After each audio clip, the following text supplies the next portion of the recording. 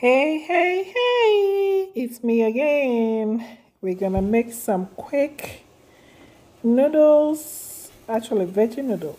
So to start off, we're going to cook our noodles. As you saw, I seasoned my water with some chicken bouillon seasoning. And of course, this is the noodles from the Chinese grocery store and so we're going to let it cook. It's no special way. Just don't overcook it because you're going to stir fry after it's cooked. So don't let it sit on the fire too long. As always two bags of noodles was used. And of course in a different pan I'm going to stir fry my veggies. And so I do have two large onions.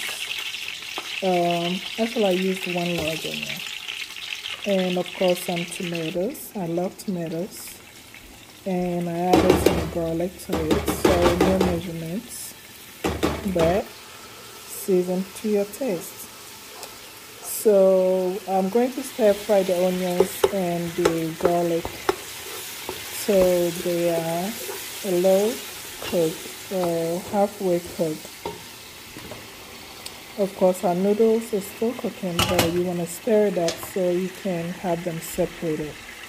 These were bundled up when I purchased it, so I give it a low stir so they can open up and cook properly. But of course, it's two bags of noodles. You can use any kind of noodles that you can find. It's no special noodles for this.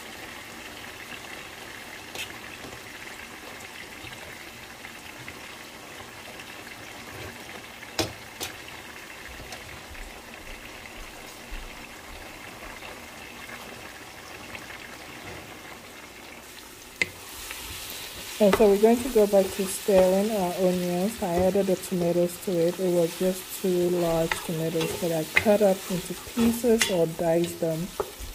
And basically fried it. And of course my favorite seasons, curry powder and sankofa season from Ghana, which has rosemary, has cloves, um, star anise, different spices in it. But of course you can use any spice of your choice um, that you have in your house. But these are two things I cook most with and also chicken bouillon because I don't cook with salt. So basically these are the only seasons I use in all my food. And so we're going to cook this. And at this stage, this is your base for your noodles. So you want to make sure it, it tastes very good um, if you have any salt, you want to make sure it goes into your base and not on top of your noodles.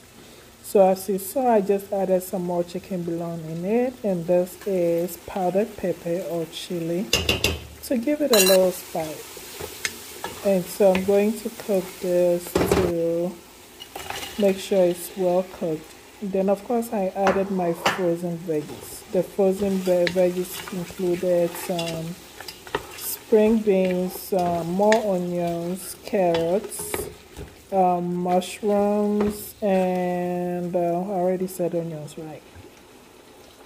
And of course, I added some soy sauce. One of those tastes better without soy sauce. No. So I added some soy sauce in there to give it a little kick and basically it was all ready. I just mixed it up. I didn't overcook it because basically the veggies were done and the noodles were cooked separate. So basically it's just the matter of mixing it. And voila it's ready to serve. It was so delicious. And of course I made a big pot. So it was eating over and over and over. It was so good